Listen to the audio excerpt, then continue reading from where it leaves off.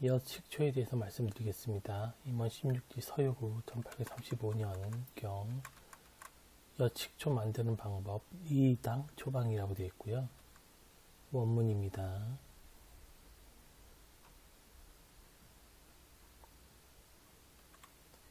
번역문입니다. 엿 한 근과 물 세 근을 준비한다 해서 상세하게 나와 있고요. 거가 필요 이렇게 되어 있습니다.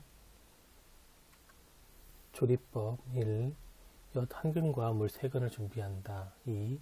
팔판 끓인 물을 엿에 부어 골골 섞는다. 3. 따뜻하게 식으면 흰 누룩가루 도량을 넣어 고루 섞어 병에 넣고 종이로 밀봉하여 볕에 쬐다.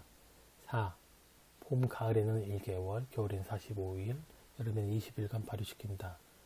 20일이 지난 표면에 흰 골마지가 생겨도 흔들지 않는다.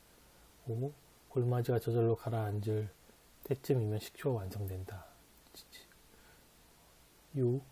햇볕을 쬐지 않고 깨끗한 곳에 두고 자연스럽게 발효시킨다. 이렇게 되어 있습니다. 솥과 병이 필요합니다.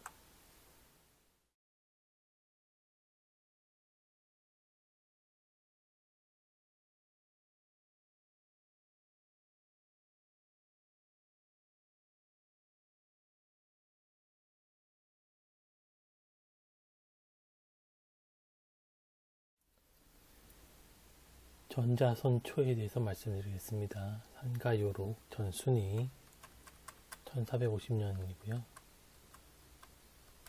원문입니다.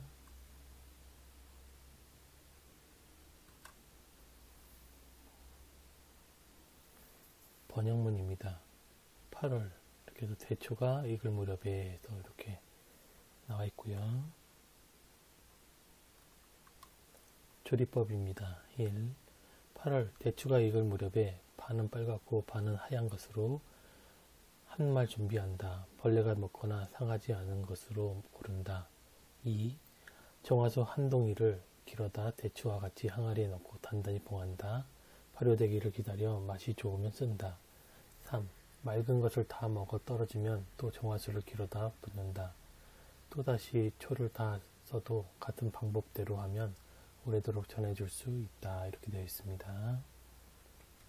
항아리가 필요합니다.